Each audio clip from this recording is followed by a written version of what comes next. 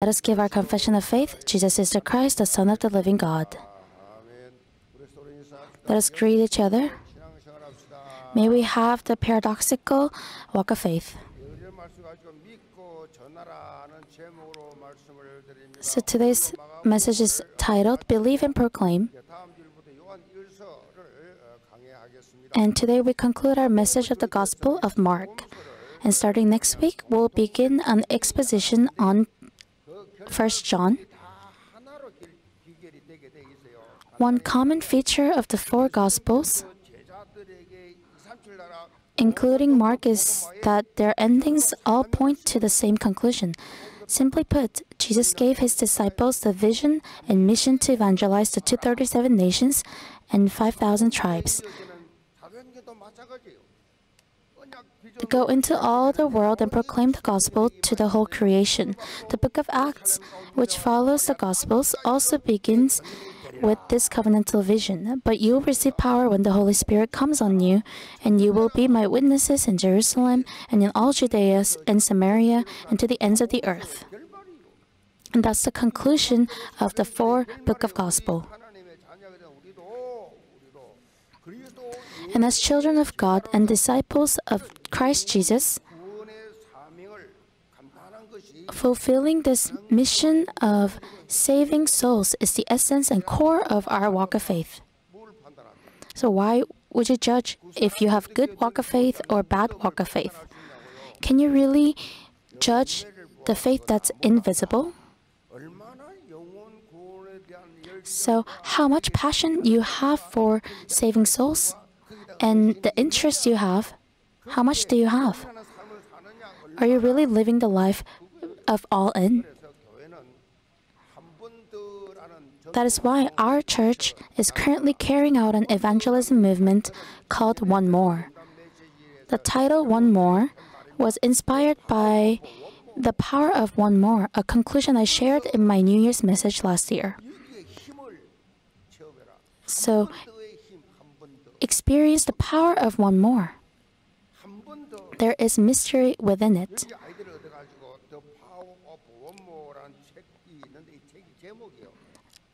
The Power of One More is also the title of a book in which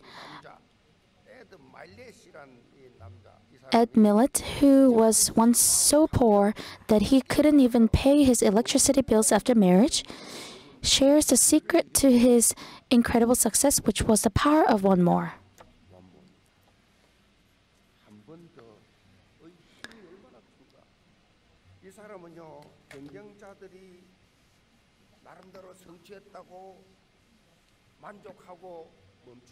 So he emphasized when your competitors are satisfied and stop when everyone else gives up and steps back, take just one more step forward. Then you'll discover hidden opportunities for success that others haven't seen.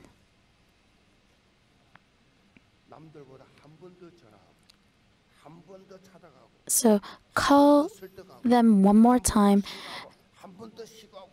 Try to try one more time and try to flip it over one more time. And to those people, success will come find them.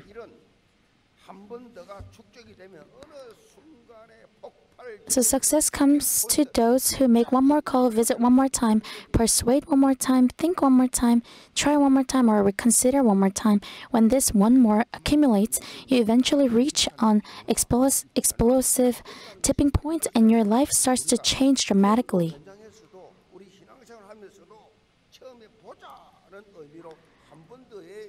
We're applying this concept in the field of evangelism through the One More Evangelism movement. So I work out at the gym, and my coach tells me to do 30 minutes of workout. And I did uh, uh, for 30 times, and he tells me 30, do 30 times, and I I did 30 times, but then my coach will tell me, oh, do just one more, and he tells me, I lost all my strength. But then that one more time will it's a it's a plus for you to really strengthen yourself.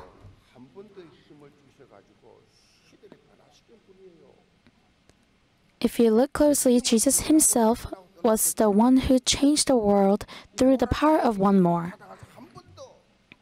After his resurrection, he came to the disciples who had denied, betrayed,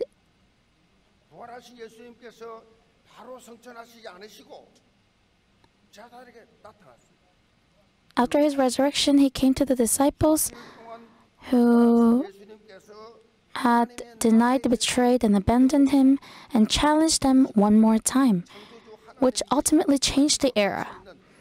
After his resurrection, Jesus didn't ascend to heaven immediately.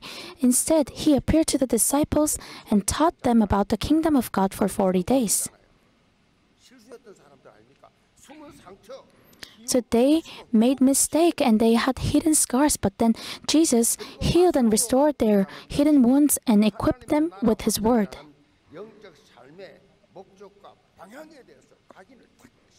He imprinted on them the spiritual purpose and direction of expanding God's kingdom, and from that time on, they did not have any betrayer. To carry out this ministry, he said on the day of Pentecost, He will send the Holy Spirit. So, walk of faith, it's important to go to church. But then, as you're living a busy life, you must experience the Holy Spirit.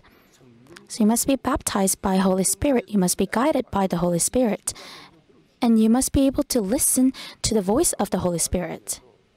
So, you always listen to people. But there is a detailed word that God gives me during the time of worship as you're praying. He talks to me. So you must experience the Holy Spirit. And, and after the disciples realized the Holy Spirit and realized the fact that God is with them, nothing became their problems.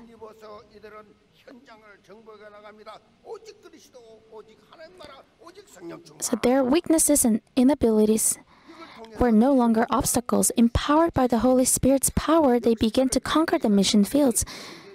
The living works of how the field was transformed through only Christ, only the kingdom of God, and only the filling of the Holy Spirit are recorded in the book of Acts.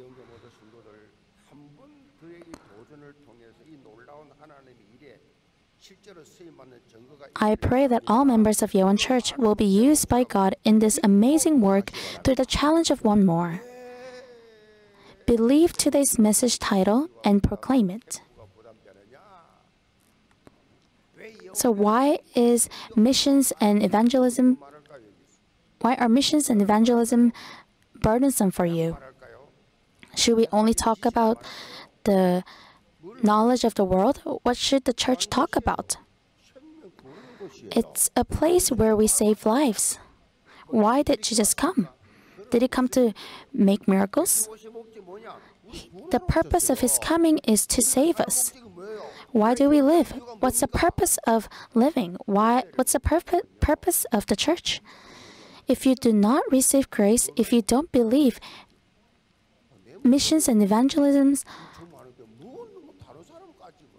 are burdensome, are a burden for you. That is why you must believe and proclaim it. Those who believe will be able to do evangelism missions and can go to camp. So do you believe or not? It will take place according to your faith. Do I believe or not? It's because I don't believe it. It's burden. It's quite burdensome for me. So let's say you have cancer. What would you do for the rest of your life? So they say that you have three months. What are you going to do for that three months? What are you going to do for that three months? So you can repent everything, you can organize everything, you can wrap up everything. And you must stand before God by sharing the gospel with everyone that you meet.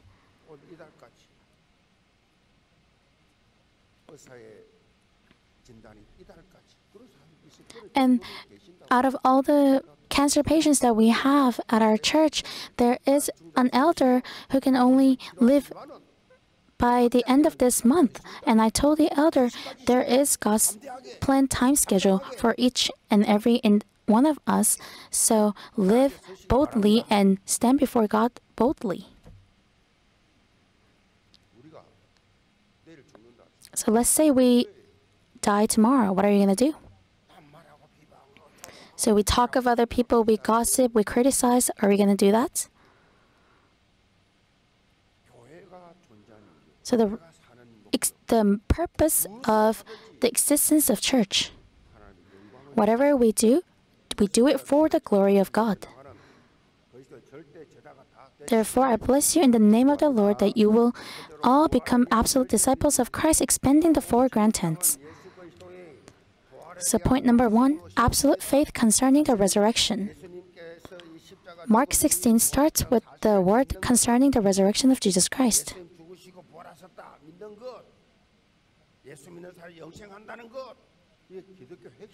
In fact, believing that Jesus was resurrected after his death on the cross is the core of faith of Christianity.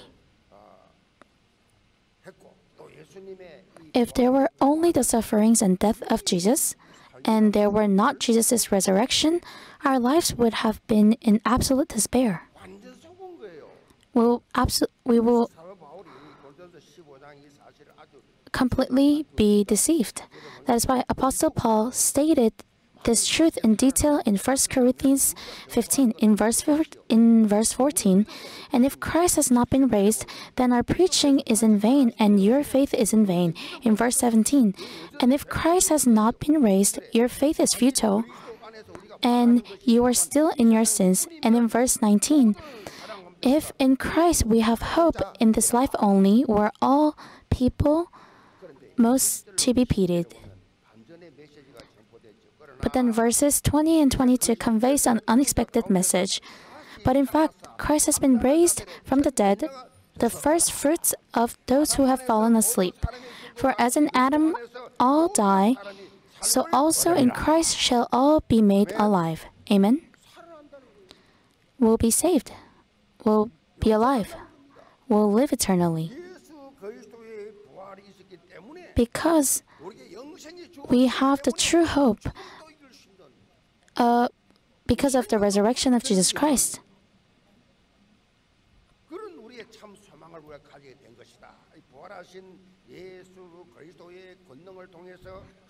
And we have gained the strength to win against the world of sin filled with darkness through the power of Jesus Christ.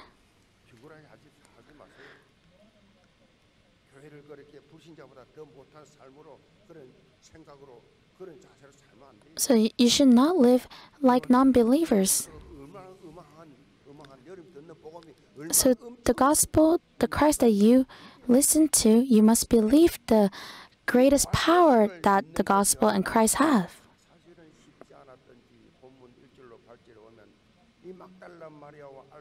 However, you can see in verse 1 of the main passage how uneasy it was to believe in the news of resurrection by looking at the fact that Magdalene Mary, Mary the mother of James, who is the son of Alphaeus,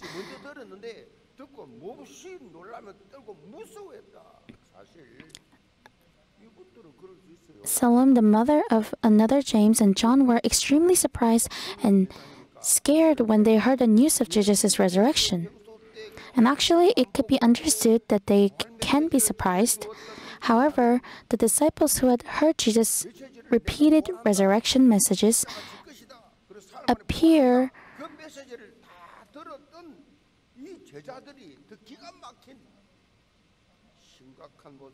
so they appear ridiculously more serious. Although they heard the news of the resurrection of Jesus from Magdalene Mary, they didn't believe it at all. They totally didn't expect it and they, are, they were Jesus' disciples. So Jesus appeared before these disciples. Read verse 14. Afterward, he appeared to the eleven themselves as they were reclining at the table, and he rebuked them for their unbelief and hardness of heart, because they had not believed those who saw him after he had risen.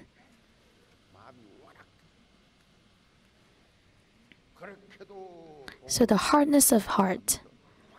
They listened to the gospel so many times, but they did not believe it. So when the 11 disciples were gathered, Jesus appeared.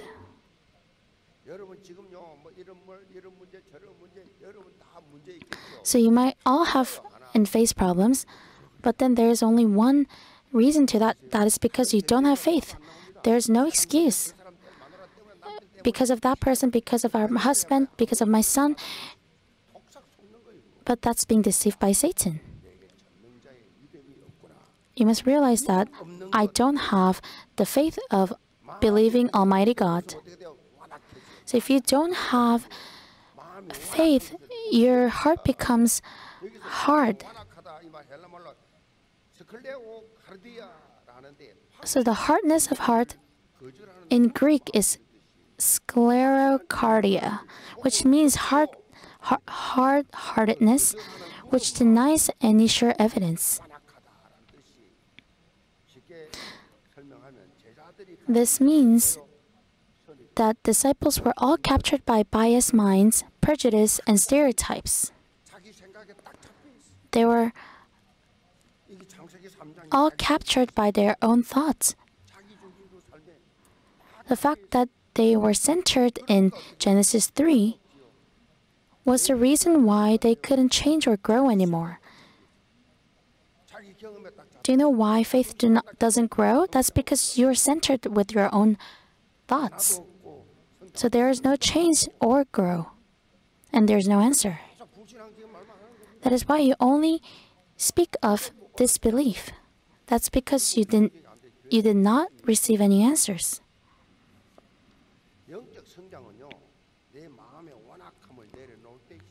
Spiritual growth starts only when you put down the hardness of your heart. So you might say, I don't my heart is not hard. But then that's because but then what's the hardness of the heart is not believing in God and not having faith.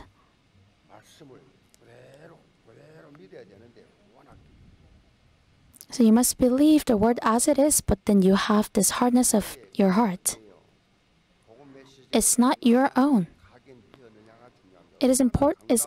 It is very important to know how much you're imprinted with the word of the gospel, not your own thoughts. How much rooted and natured you are within His word is so important. So, before speaking, you must organize with the word of God. And don't just fall into the level of the world. So, there is an idiom that says humans fall for the same thing. You might think people won't fall for the same thing, but they actually do. When you look at this spiritually, there you constantly repeat you fall for the same problem. So what can be the best example is the disbelief towards God. So you have this repeated religious life and repeated disbelief. So the more important you are, the more power you have, Satan works. So the powerless people, the people who can't make a huge influence, Satan does not attack them. But then, if Satan thinks, oh, this person has a lot of influence on this church, then he works to deceive them. He works to make them not receive grace, and He tests them. So people who don't have any thoughts, they don't fall into these trials. But then you think too much. That's the mas masterpiece of Satan.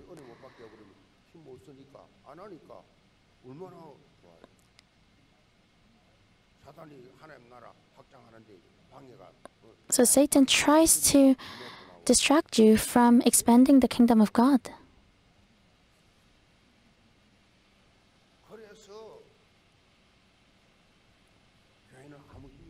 That is why churches do not have any power and they cannot grow in number.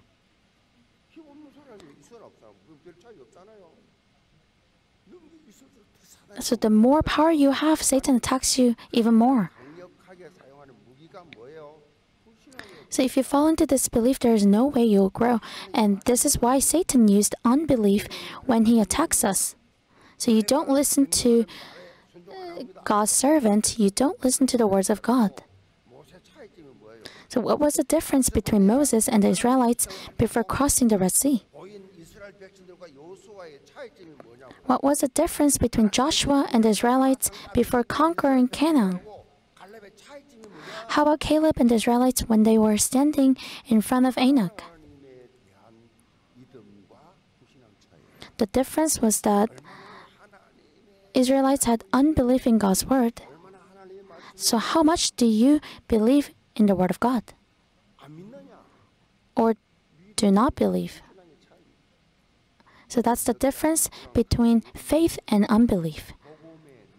The Protestant reformer John Calvin even said, The power of the gospel is unlimited, but only the believer will see it work. So the power of the word is so amazing. Just one word so the whole creation could be gone, but then God's word will last. And the power is unlimited. So only those who believe will see it work. Only the believer will see it work. So you'll see God's glory when you believe in it. So be, even if you go to church, if you don't have this faith, if you don't have this belief, you won't see it work. You will see God's glory when you believe it. So you realize that is Jesus Christ, and that Jesus Christ solved all my problems. And you'll be able to experience that, and once that takes place, that's the end. You can only you can only experience the scale of God only when you face a covenantal challenge with absolute faith. So, only when you obey the word of God. So, Satan continues to deceive you through people, and he deceives you so that you can't remember the word of God and you can't share the word of God. And you know that better than anyone else. So when you believe in the word, despite your level, you'll be able to experience God's scale. So how can that person change so much? How are how are they being used so much? How how do they have so much power? That's the evidence that's shown because they believed. So God's scale. So we live in such a tiny land, and you can imagine how tiny our scale is. So we were even thankful that we could eat three meals a day.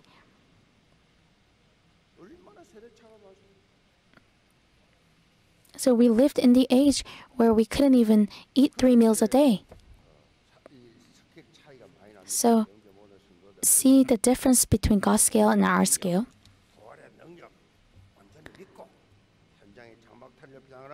So I bless you in the name of the Lord that you may all believe the authority of resurrection and the power of the gospel and enlarge the tent of your field as a witness of Christ. Point 2 The work that is revealed when one proclaims. In verse 15 reads, And he said to them, Go into all the world and proclaim the gospel to the whole creation.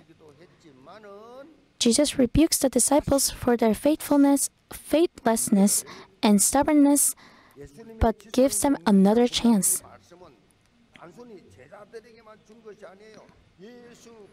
So, this word, the Great Commission, is not merely for the disciples, but for all believers who believe in the power of Jesus Christ's crucifixion and resurrection.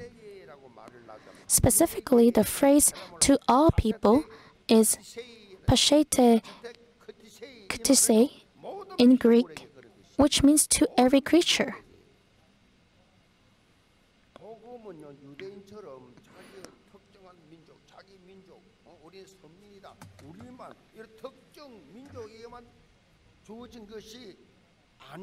The gospel is not limited to one particular people or group, but must be proclaimed to all nations too.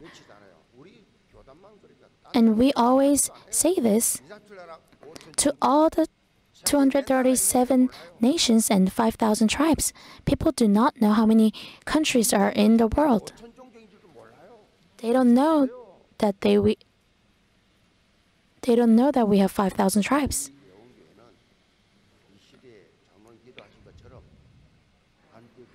And just like how the elder prayed earlier, may we, may our Yewon church become an Antioch church of this age. Amen. And the elder's prayer was so powerful that I am empowered by his prayer. That is why the representative prayer is so important. That is why last week, during the Chuseok holiday,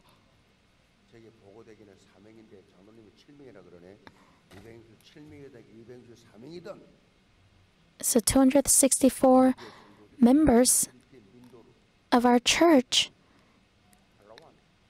went to a multi camp in Mindoro, Antipolo, and Palawan, Philippines. So it's a poorest Asian country. Back in the days, they lived, they were wealthier than our country, so they helped us.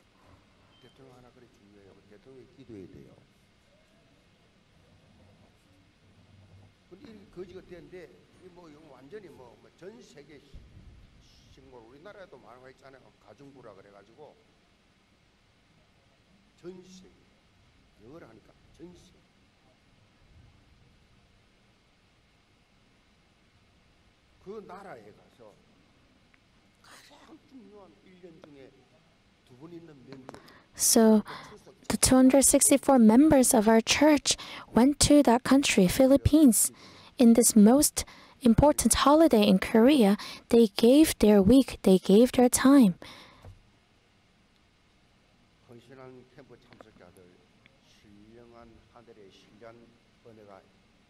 So may all the people who devoted themselves in the camp may be filled with God's Holy Spirit, and God has written your names in God's book of blessing. So I remember God will say that I remember your devotion and your offering and your resolution to save lives. So, do you think God will forget that you spent a whole week to do camp?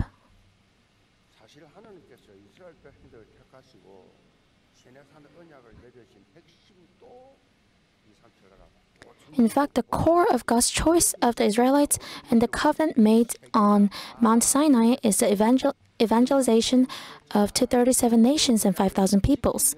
In Exodus 19:5, now therefore, if you if you indeed obey my voice and keep my covenant, you shall be my treasured possession among all peoples, for all the earth is mine, and you shall be to me a kingdom of priests and a holy nation.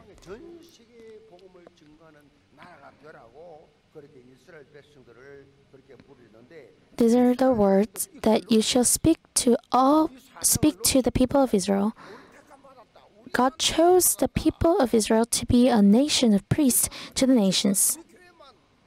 But unfortunately, the Israelites lost sight of this essential mission and became preoccupied with being chosen. So they didn't do because they were their sense of nationhood became a poison. So their chosen people ideology became a poison for them. the Babylonian captivity, the Roman colonization, the wanderings, wanderings afterward, and even now, they are still missing the point. So Iraq, Iran, the Middle East, Israel, they're always on the news about this war, about these battles, because they lost hold of the gospel.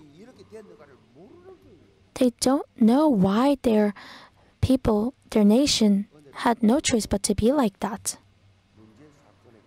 So if you don't receive grace, you don't have the answer to your incidents, your problems. That's why you continue in the suffering. That is why we should use Israel's failed history as a counterexample.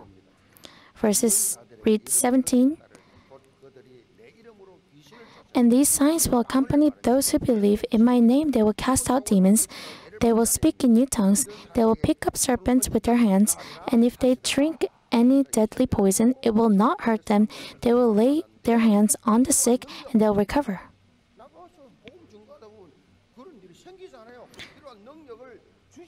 Jesus is saying that He will give them the power they need to fulfill their mission of spreading the gospel. But you must hold on to the word. So don't test God, but you must hold on to the word. Don't test God that I'll, you'll, you'll survive even if you drink poison. So don't do that at home.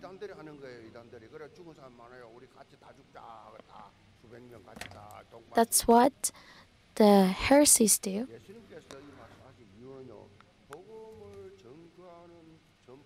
However, look at the intent of the words. Don't go home, don't go home and do strange experiments. The reason Jesus says this is to guard, guide, and protect the evangelist's steps.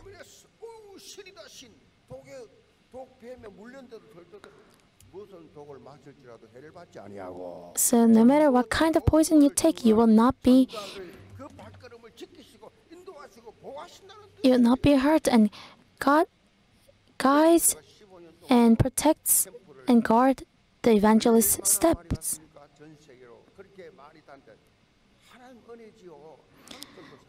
So I've been traveling all over the world, but then by the grace of God, there wasn't a single incident for the past 15 years. So for the 15 years, I went all over the world for camp, but then there wasn't a single issue there wasn't a single issue. God protected me. So, because I had this pure heart to spread the gospel, I could stand as a witness of God's protection.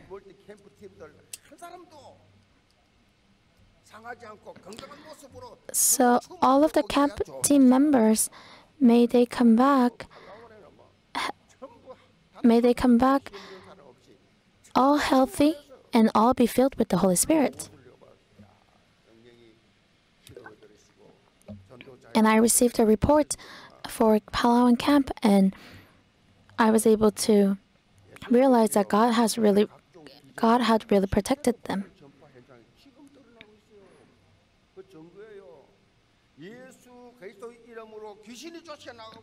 So, in the name of Jesus Christ, the demons are cast out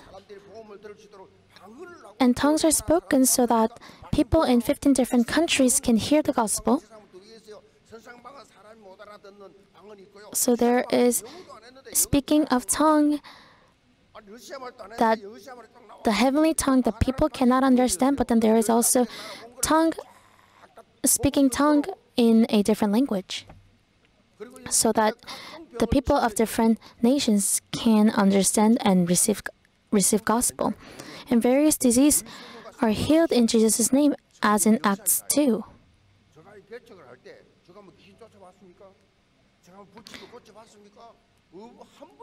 So when I started church, I've never experienced healing other people. But, but then, as I was doing this ministry, the people who are filled with evil spirit will come and in the name of Jesus Christ, the demons will cast out. And I prayed for them and they'll be healed.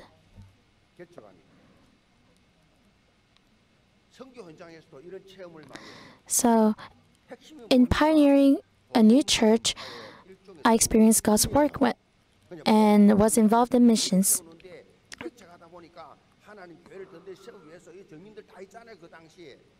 So there are witnesses at our church.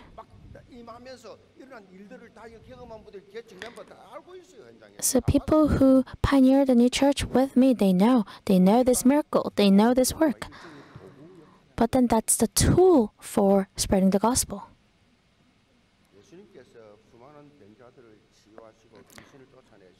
So Jesus healed so many ill people and he cast out demons, but then that's an evidence to relay the gospel.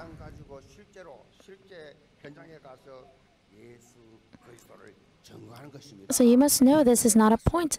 Such works are only a tool and method to open the door for spreading the gospel, healing numerous sick, casting out demons, and even giving life to the dead. Jesus did all of those these to proclaim the gospel of the kingdom more, effic- more effectively. Therefore, the main point is to have faith in the resurrection proclaimed Jesus Christ in the field. In verse 20, and they went out and preached everywhere, while the Lord worked with them and confirmed the message by accompanying signs. You can see the Lord worked with the various signs to make it more effective when disciples went, to, went out to preach there is an order. When we go out to the field, we do not go with abilities to create various signs. The Holy Spirit works within us when we go out to the field and proclaim the gospel regardless of our level and ability.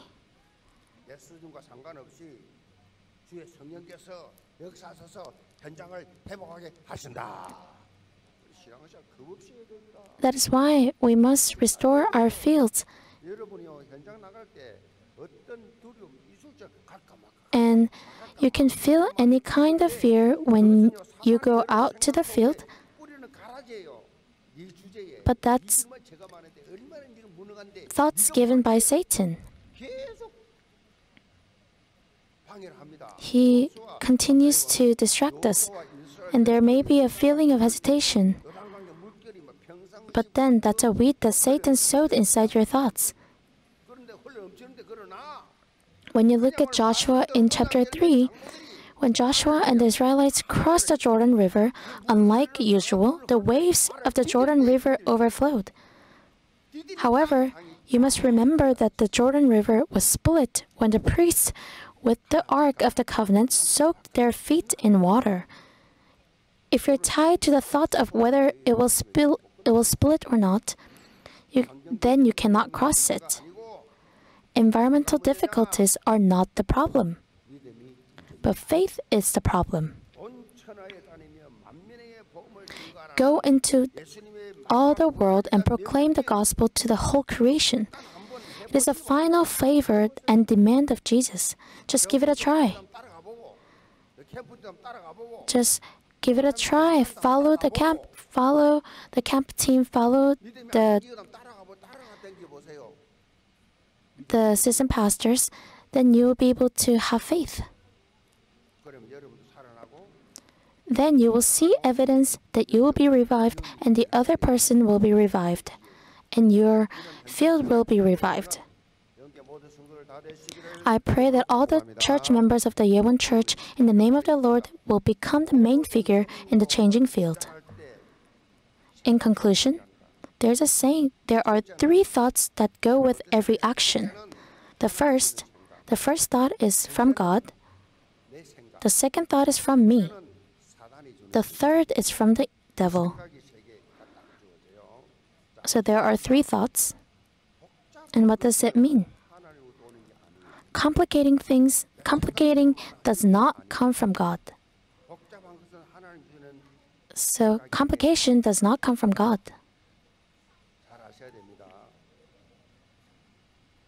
하나님의 말씀을 들을 때 무슨 말입니까? 하나님 말씀을 들을 때 예배를 드릴 때 처음으로 깨닫게 주시는 The first thing that made you realize the thing that came to you as Rhema when you heard God's word is the answer, is God's voice. 내게 말씀을 딱 주는데 그대로 순종하고 그대로 딱 나가야 되는데 주저 주저 미루면 So when you listen to the word of God, you must obey immediately. But then if you're hesitating, if you keep delaying, delaying, you cannot really taste the blessings God has prepared. When you delay, unbelief creeps in. Satan's capture of such times. I hope you all have the faith to decide immediately on God's word. Because if you delay, you cannot taste God's blessings. If you're hesitant, if you think over and over, you cannot taste God's work. If you delay it, disbelief comes in. And Satan captures of such times.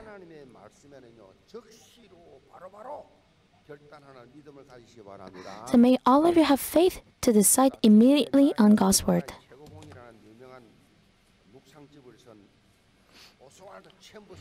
Pastor Oswald Chambers, the author of a famous meditation collection called My Utmost for His Highness.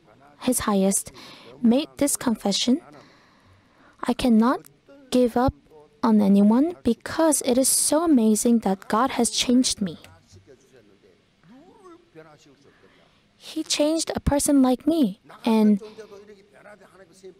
and a being like me is changed and I'm, is being used by God. There's no one who's worse than me, so anyone can change. So may all of you have this challenge of one more. There are definitely souls in your field to be revived when you challenge one more time. When I read reports from the evangelism team, this family line evangelism team, I read that my father I, never believed that my father will listen to the word of God. But then, as you pray, the disbeliefs cast away and God works through you. So may all of you challenge. So do not give up. You might say that person will never be saved. But then do not give up on anyone. That if you give up, then that's disbelief. To save to save people. That's in God's hand. I bless you all in the name of the Lord to become God's people who do not give up anyone but save them through the covenantal challenge of one more time during the second half of 2024. Dear God, we thank you so much for saving us, and we thank you so much for making us citizens of heaven. So, as we hear your word every week,